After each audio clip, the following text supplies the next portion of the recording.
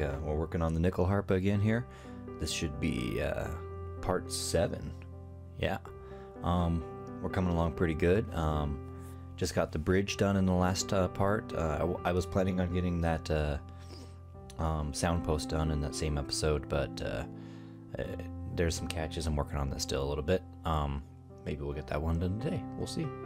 Um, but for today, we're gonna get all the pins in all the keys. So, um, all these pins here, this is how I designed them originally, and I was going to cut these out of maple. Um, I, I, I, have things very lightly engineered in this instrument, so um, a typical nyckelharpa would be um, a lot more robust and smaller, but this is a, a tenor, so it's a larger scale, a larger instrument. It's got um, the capability of playing a, a, lot of keys and individual strings. So this seemed a little bit difficult. So what I'm going to do is a little bit different, and uh, I'm actually going to use um, stainless steel hardware as pins. And uh, then at some point, I'm not sure exactly. I'm, i may make little um, pieces of wood for these uh, egg-shaped pieces to to cover those, or I may just end up using uh, rubber tubing or hose or something. I'm not sure. I'm gonna have to experiment with that a little bit to see what works. Um, but yeah, so let's get to work making these pins.